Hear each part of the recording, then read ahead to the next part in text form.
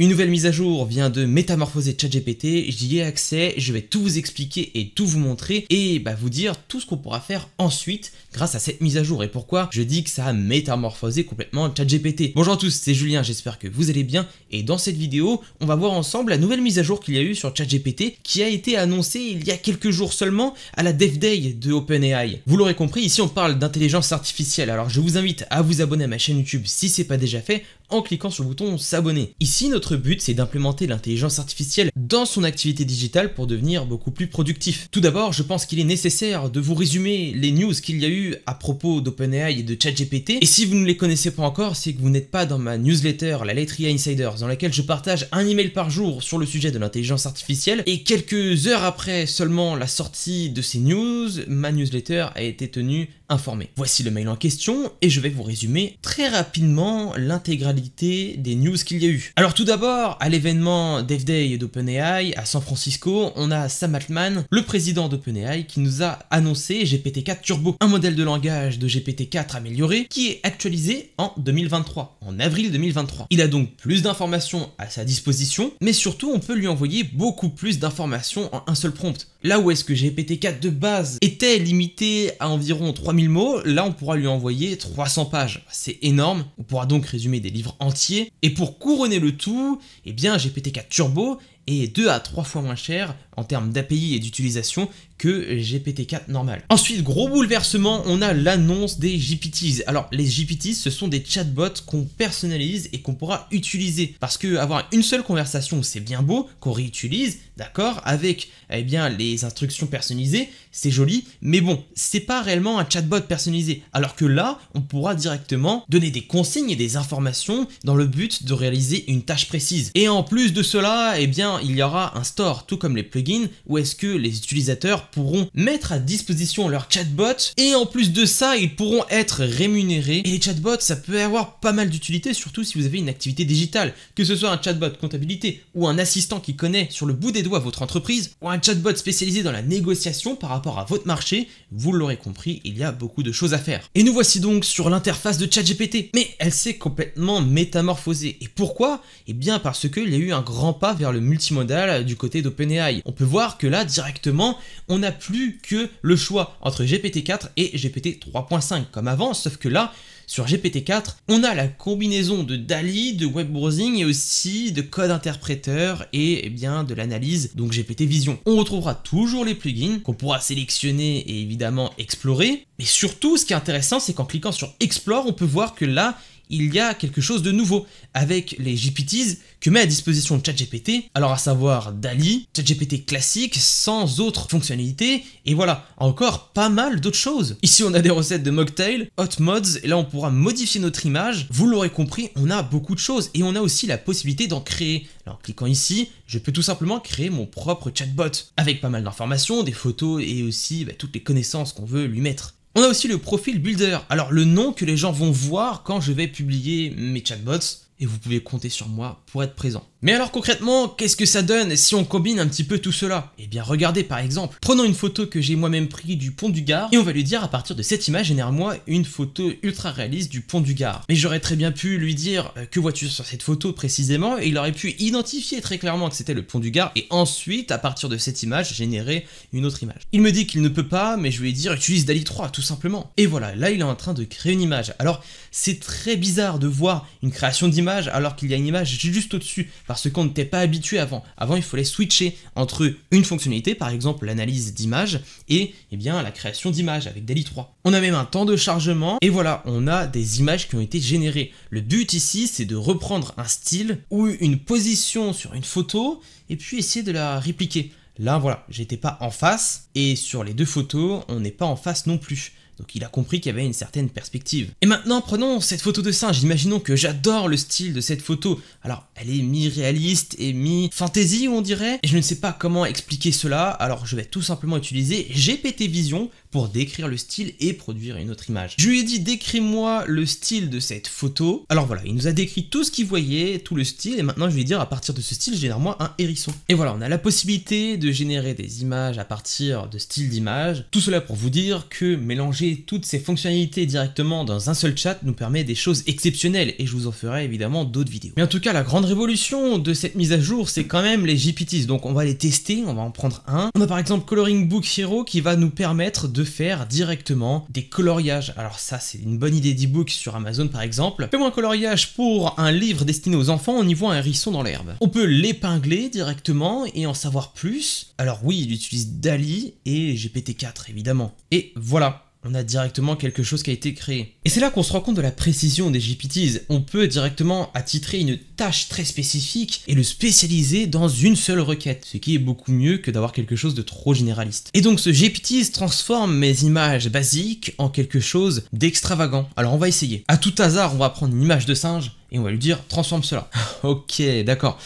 Je suis très content de ce qu'on a. Là, on a un exemple typique. Voilà, on a directement ce singe a été transformé en prince, tout simplement. Vous l'aurez compris, les possibilités sont énormes. J'ai envie de dire, elles sont infinies et ça dépend de vos besoins. Plus sérieusement, qu'est-ce qu'on pourrait réellement faire avec un chatbot personnalisé?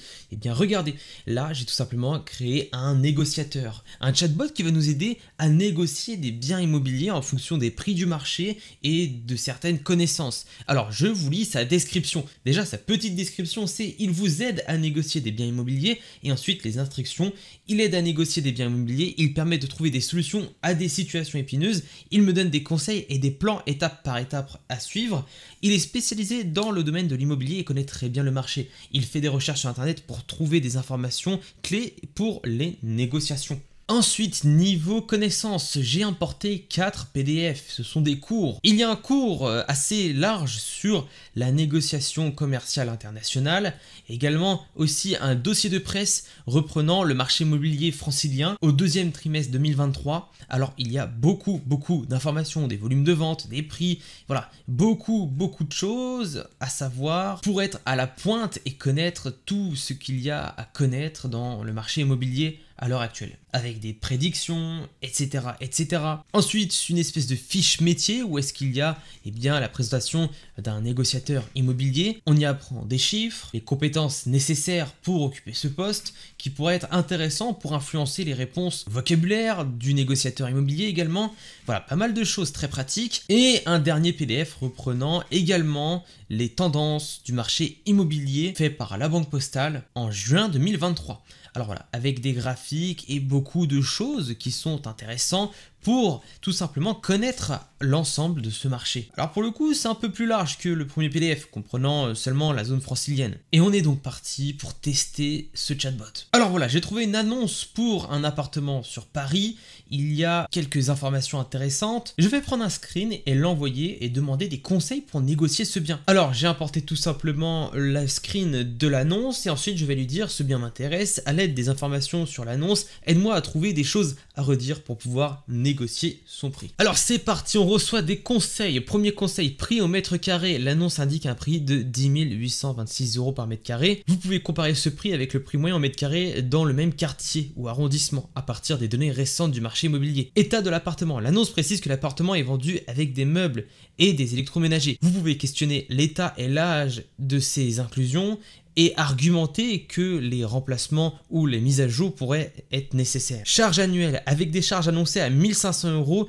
il peut être utile de comparer ce montant avec d'autres appartements similaires pour voir si c'est raisonnable. Classe énergie. Si les classes énergie sont faibles, cela peut indiquer une moins bonne efficacité énergétique qui peut entraîner des coûts supplémentaires à long terme. Situation et exposition. L'appartement est décrit comme traversant et très lumineux, mais il serait bon de le visiter le bien à différents moments de la journée pour évaluer les exposition réelle au niveau de la luminosité. En réalité, ici, il est en train de nous donner plein d'angles d'attaque possibles à utiliser pour négocier ce bien. Et puis, il s'arrête pas. Là, il commence son huitième. Bon, il a eu une erreur, mais en tout cas, ça ne s'arrête pas il commençait à me parler de la cave et du parking à vélo. Alors voilà, pour l'exemple, évidemment, ce n'est pas du tout sérieux, je referai des vidéos plus sérieuses à ce sujet-là, mais par contre, regardez, si on prend par exemple ce chatbot que j'ai créé, Funny Monkey discute avec un singe, c'est un singe, il se moque beaucoup des choses stupides que les humains font, il a un côté philosophique, il rappelle très souvent que nous sommes aussi des singes, il utilise beaucoup d'emojis dans ses phrases, il rit beaucoup, chaque message qu'il envoie est suivi d'une image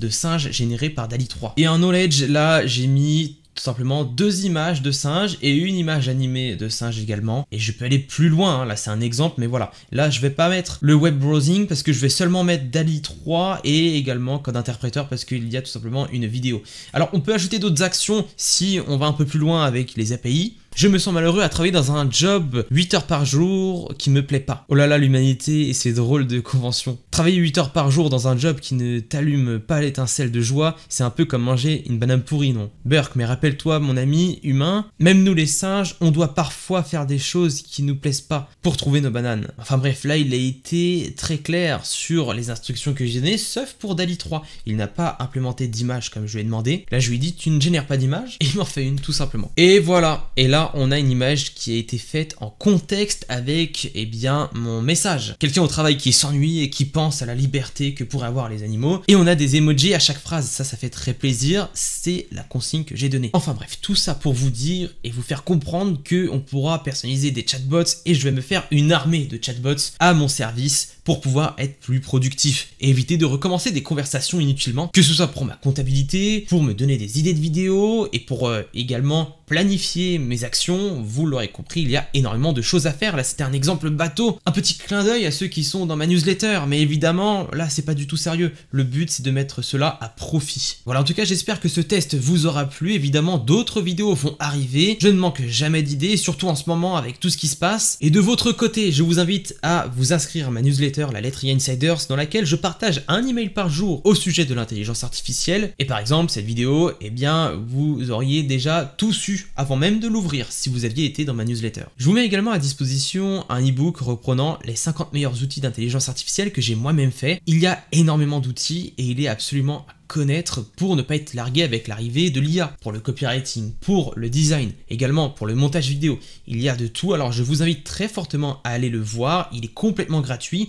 il faut seulement cliquer sur le lien dans la description, entrer son email et vous sera automatiquement envoyé par mail. Voilà, en tout cas il se passe énormément de choses dans le monde de l'intelligence artificielle et je vais essayer de faire au mieux pour tout vous montrer et mettre à profit l'IA et notamment cette nouvelle mise à jour de ChatGPT dans votre activité digitale.